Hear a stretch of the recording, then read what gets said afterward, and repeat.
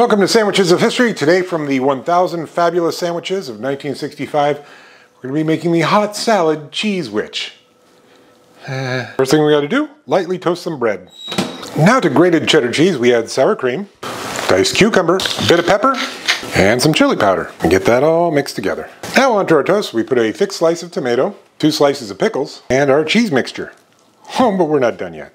And we top that with a little paprika. Then we put that under the broiler until the cheese is melty and a little bit brown. Okay, let's give this hot salad cheesewich a go. It's really actually not bad flavor-wise.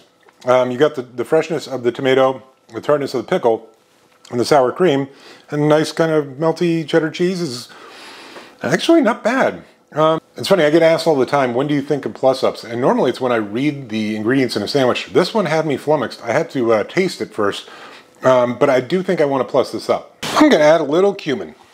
Kind of boost the chili powder a little bit more. Okay, let's give this hot salad cheesewich plussed up with a little cumin a go. Okay, to me that works. Helps to amplify the um, chili powder that's already in there. Goes well with the sour cream, goes well with the tomatoes, goes well with the pickles and the uh, cheddar cheese.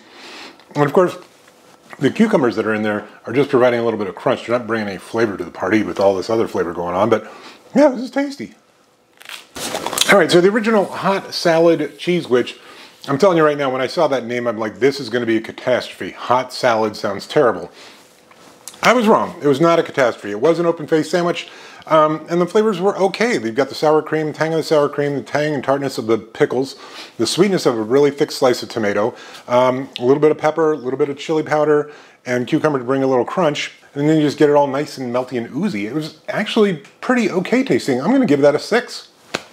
Plus up with the cumin uh, powder, I'll probably give it about a six and a half. It's not a huge change, but it is better. Uh, and I will finish this, which is not something I thought I would say when I first saw this recipe. would I make it again? Probably not, but I'll definitely finish it. All right, see you tomorrow.